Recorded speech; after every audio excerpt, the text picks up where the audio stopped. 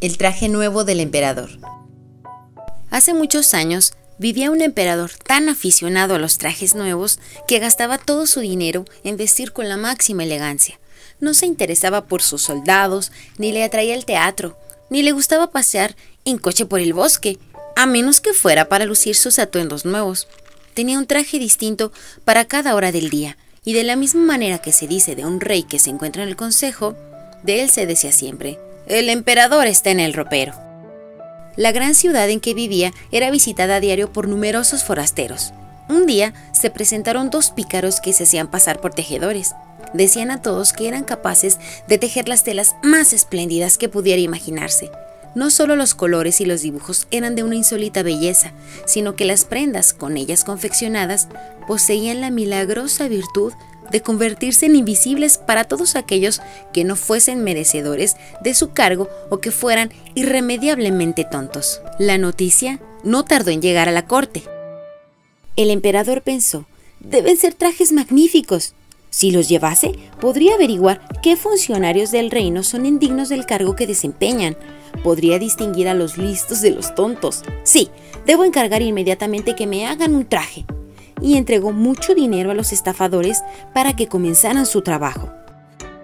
Los pícaros instalaron entonces dos telares y simularon que trabajaban en ellos aunque estaban totalmente vacíos. Con toda urgencia exigieron las sedas más finas y el hilo de oro de la mejor calidad. Guardaron en sus alforjas todo esto y trabajaron en los telares vacíos hasta muy entrada la noche. Me gustaría saber lo que han avanzado con la tela, pensaba el emperador pero se encontraba un poco confuso en su interior al pensar que si él fuese tonto o indigno de su cargo, no podría ver lo que estaban tejiendo. No es que tuviera dudas sobre sí mismo, pero por si acaso, prefería enviar primero a otro para ver cómo andaban las cosas. Todos los habitantes de la ciudad estaban informados de la particular virtud de aquella tela, y todos estaban deseosos de ver lo tonto o inútil que era su vecino. Enviaré a mi viejo ministro a que visite a los tejedores, pensó el emperador. Es un hombre honrado y el más indicado para ver si el trabajo progresa, pues tiene buen juicio y no hay quien desempeñe el cargo como él. El viejo y digno ministro se presentó, pues, en la sala ocupada por los dos pícaros, que seguían trabajando en los telares vacíos. Dios me guarde, pensó abriendo unos ojos como platos. No veo nada. Pero tuvo buen cuidado en no decirlo los dos estafadores le pidieron que se acercase y le preguntaron si no encontraba preciosos el color y el dibujo. Al decirlo, le enseñaban el telar vacío, y el pobre ministro seguía con los ojos desencajados, pero sin ver nada, puesto que nada había. Dios mío, pensó, ¿seré tonto acaso? ¿Es posible que sea inútil para el cargo? No debo decir a nadie que no he visto la tela. ¿Qué? ¿No decís nada del tejido? preguntó uno de los pillos. Oh, precioso, maravilloso, respondió el viejo ministro mirando a través de los lentes. ¡Qué dibujos y qué colores! Desde luego, diré al emperador que me ha gustado extraordinariamente. ¿Cuánto nos complace? dijeron los tejedores, dándole los nombres de los colores y describiéndole el raro dibujo. El viejo ministro tuvo buen cuidado de quedarse las explicaciones en la memoria para poder repetirlas al emperador, y así lo hizo. Los estafadores volvieron a pedir más dinero, más seda y más oro, ya que lo necesitaban para seguir tejiendo. Lo almacenaron todo en sus alforjas, pues ni una hebra se empleó en el telar, y ellos continuaban como antes, trabajando en el telar vacío. Poco después, el emperador envió a otro funcionario de su confianza a inspeccionar el estado del tejido. Al segundo le ocurrió lo que al primero. Miró y remiró, pero como en el telar no había nada, nada pudo ver. Precioso tejido, ¿verdad? preguntaron los dos tramposos, señalando y explicando el precioso dibujo que no existía. Yo no soy tonto, pensó el funcionario. Luego, ¿será mi alto cargo el que no me merezco? Qué cosa más extraña. No diré nada a nadie. Es preciso que nadie se dé cuenta. Así es que elogió la tela que no veía y les expresó su satisfacción por aquellos hermosos colores y aquel precioso dibujo. Al día siguiente, se presentó ante el emperador y le informó, El tejido es digno de admiración. Todos en la ciudad hablaban de la espléndida tela como si lo hubiesen visto.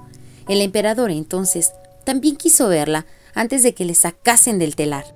seguido de una multitud de personajes distinguidos, entre los cuales figuraban los dos viejos y buenos funcionarios que habían ido antes, se encaminó a la sala donde se encontraban los dos pícaros, los cuales continuaban tejiendo afanosamente, aunque sin hebra de hilo. ¿Verdad que es admirable? preguntaron los dos honrados funcionarios. Fíjese, vuestra Majestad, en estos colores y estos dibujos, y señalaban el telar vacío, creyendo que los demás veían perfectamente la tela. ¿Qué es esto? pensó el emperador. Yo no veo nada. Esto es terrible. ¿Seré tonto? ¿O es que no merezco ser emperador? Resultaría espantoso que fuese así. ¡Oh! Es bellísima, dijo en voz alta. Tiene mi real aprobación. Y con un gesto de agrado miraba el telar vacío, sin decir una palabra de que no veía nada. Todo el séquito miraba y remiraba, pero ninguno veía absolutamente nada. Sin embargo, exclamaban como el emperador, ¡Oh, es bellísima! y le aconsejaron que se hiciese un traje con esa tela nueva y maravillosa para estrenarlo en el desfile que debía celebrarse próximamente. Es preciosa, elegantísima, estupenda, corría de boca en boca, y todos estaban entusiasmados con ella. El emperador concedió a cada uno de los dos bribones una cruz de caballero para que las llevaran en el ojal y los nombró caballeros tejedores. Durante toda la noche que precedió al día de la fiesta, los dos embaucadores estuvieron levantados, con más de 16 lámparas encendidas. La gente pudo ver que trabajaban activamente en la confección del nuevo traje del emperador. Simularon quitar la tela del telar, cortaron el aire con grandes tijeras y cosieron con agujas sin hebra de hilo hasta que al fin gritaron, Mirad, el traje está listo.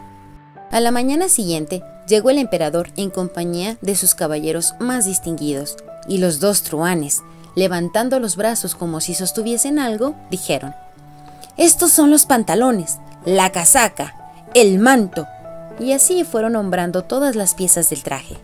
Las prendas son ligeras, como si fuesen una tela de araña, elogiaron los bribones. Se diría que no llevan nada en el cuerpo, pero esto es precisamente lo bueno de la tela. En efecto, asintieron todos los cortesanos sin ver nada, porque no había nada. ¿Quiere dignarse vuestra majestad a quitarse el traje que lleva? preguntaron los bandidos, para que podamos probarle los nuevos vestidos ante el gran espejo. El emperador se despojó de todas sus prendas, y los pícaros simularon entregarle las diversas piezas del vestido nuevo, que pretendían haber terminado poco antes. Luego hicieron como si atasen algo a la cintura del emperador era la cola, y el monarca se movía y contoneaba ante el espejo. Dios, y qué bien le sienta, le va estupendamente, exclamaron todos. ¡Qué dibujos, qué colores! Es un traje precioso.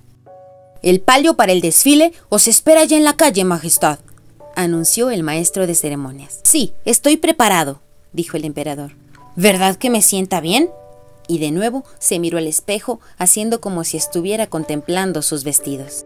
Los chambelanes encargados de llevar la cola bajaron las manos al suelo como para levantarla y siguieron con las manos en alto como si estuvieran sosteniendo algo en el aire. Por nada del mundo hubieran confesado que no veían nada. Y de este modo marchó el emperador bajo el espléndido palio, mientras que todas las gentes en la calle y en las ventanas decían ¡Ah! ¡Qué precioso es el nuevo traje del emperador! ¡Qué magnífica cola! ¡Qué bien le sienta! Nadie permitía que los demás se diesen cuenta de que no veían nada, porque esto hubiera significado que eran indignos de su cargo o que eran tontos de remate. Ningún traje del emperador había tenido tanto éxito como aquel. Pero si no lleva nada, exclamó de pronto un niño. Oh, Dios mío, escuchad la voz de la inocencia, dijo su padre y todo el mundo empezó a cuchichear sobre lo que acababa de decir el pequeño. Pero si no lleva nada puesto. Es un niño el que dice que no lleva nada puesto. ¡No lleva traje! gritó al fin todo el pueblo. Aquello inquietó al emperador, porque pensaba que el pueblo tenía razón, pero se dijo, hay que seguir en la procesión hasta el final.